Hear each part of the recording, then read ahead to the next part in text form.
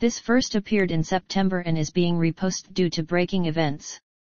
The United States has landed a Rockwell International B-1B Lancer strategic bomber on Osan Air Force Base in South Korea. The Pentagon intends for the temporary deployment to be a signal to North Korea that Washington stands ready to defend the Republic of Korea even as Pyongyang continues its nuclear saber rattling.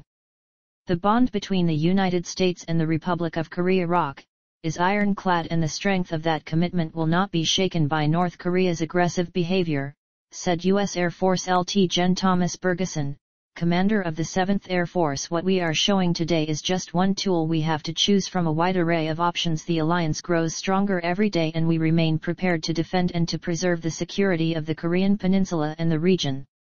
The B-1B flew in from Andersen Air Force Base on the U.S. territory of Guam on September 21 as a part of a U.S. effort to reassure Seoul after Kim Jong-un's Democratic People's Republic of Korea conducted a nuclear detonation and test-fired a new submarine-launched ballistic missile in recent weeks earlier on September 13.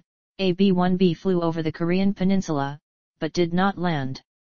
The Korean peninsula faces a grave security crisis as a result of North Korea's fifth nuclear experiment along with its continued launching of SLBMs and ballistic missiles despite the concerns of the international community, LT Gen Lee Wong-kun, ROK Air Force's operational commander, said in a statement the ROK-US combined air forces, acutely aware of this climacteric situation, maintains a close information sharing and a robust combined operational capability should the enemy provoke us once.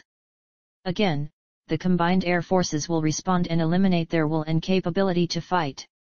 The B-1A was originally designed during the 1970s as a high-altitude, Mach 20 capable nuclear bomber however, President Jimmy Carter cancelled the program on June 30, 1977, in favor of air-launched cruise missiles carried on board the B-52, intercontinental ballistic missiles and what eventually became the Northrop Grumman B-2 Spirit stealth bomber after it became apparent that penetrating Soviet airspace at high altitudes in a conventional non-stealthy aircraft was likely a suicidal endeavor. President Ronald Reagan eventually revived the Lancer program on October 2, 1981, however the new B-1B was optimized for low-level penetration additionally, the aircraft was modified with new engine air intakes and other upgrades to reduce its radar cross-section. The resultant B-1B aircraft no longer possessed Mach 2 capability topping out at roughly Mach 12 but had much better survivability.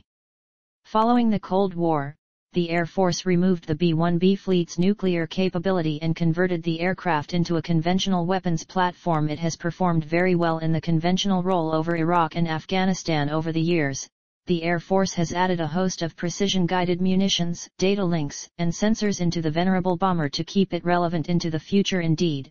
The Air Force is in the midst of upgrading the bombers with new avionics including a new Northrop Grumman Scalable Agile Beam Radar Global Strike Active Electronically Scanned Array Radar amongst other modifications. However, even though the Air Force is upgrading the venerable B-1B so that it remains relevant for decades to come, the Lancer cannot survive inside heavily defended airspace at best. The B-1B can operate in a medium threat environment. The Air Force's fleet of 20 B-2 stealth bombers are currently the service's only strategic bombers that can penetrate deep into an anti-access slash area denial bubble defended by advanced Russian or Chinese-made surface-to-air missile systems such as the S-300V4, S-400 or HQ-9.